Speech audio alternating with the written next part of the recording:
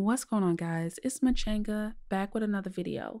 Today we're taking a look at the Motorola Razr 2020 version and we just got it in the studio so we're going to go ahead and do a quick unboxing to show you what's in the box and of course make sure you're subscribed for the full review if that's something you're interested in. Now I really like the box. The box actually feels really premium.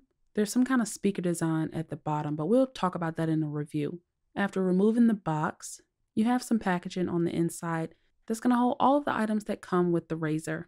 So in the packaging, you get all of your normal items. You get an adapter for the earbuds. You get your charger. You get your earbuds themselves. This phone does use USB-C, so you're going to get the charging cable and the power brick.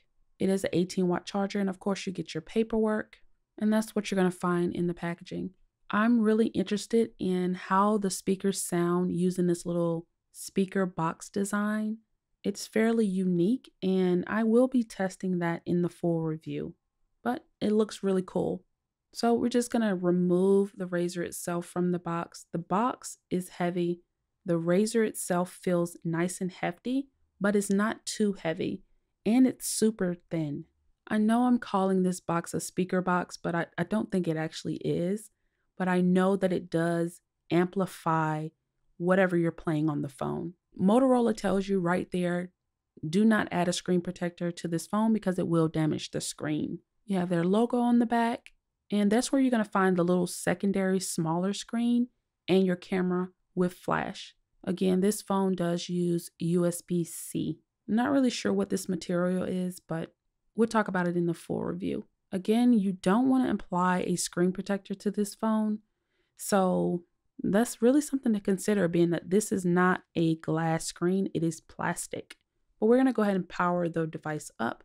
While it is turning on, we're to go ahead and cover the some quick specs here. This is running the Snapdragon 710 processor, which is not the most high end for the $1,500 price tag on this phone. But you do get 6 gigs of RAM and 128 gigs of storage. So that's cool, I guess. But I don't know if it justifies the price. Now that we've have it, now that we have it turned on, we're just gonna close it for the first time. And there's some weird creasing. I wish I could have, I wish you guys could have heard it in the video. It's some weird creasing, but in the full review, we will cover that. And you can see the screen after it's been folded. There's some weird creasing noise. But anyway, hopefully that won't be a problem. I wanted to see if we could open it one-handed like I used to do on the old Razr. We actually have a couple of older Razrs here just to compare. And you can see the size difference between the old 2004 Razr and the 2020 version. And that's going to pretty much wrap it up for the unboxing. Again, if you want to see a full review of this phone, make sure you're subscribed. I really appreciate you for watching. And I'll catch you in the next one.